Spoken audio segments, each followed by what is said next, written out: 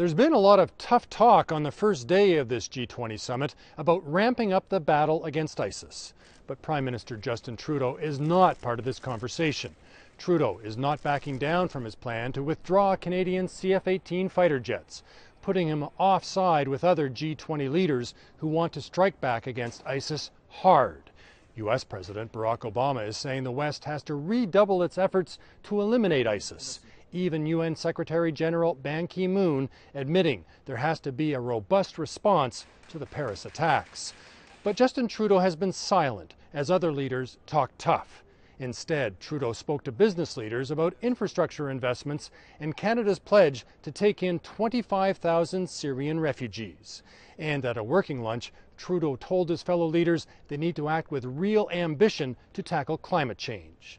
Now, during today's meeting, Prime Minister Trudeau had his first chance to chat face to face with leaders like British Prime Minister David Cameron and U.S. President Barack Obama. We're told Obama did not ask Trudeau about Canada's plans to quit the aerial bombing campaign against ISIS. But make no mistake about it, G20 leaders are spending a lot of time at this summit trying to figure out how they respond to the Paris attacks. And it's unclear exactly where Canada fits into this conversation. Japer Global News, Antalya, Turkey.